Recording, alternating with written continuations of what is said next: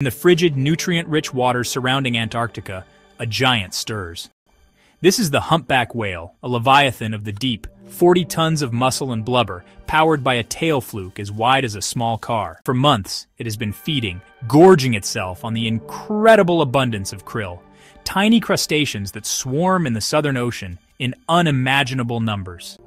Using its remarkable technique of bubble net feeding, the whale has built up immense energy reserves for the monumental task that lies ahead, a journey of breathtaking scale and profound purpose.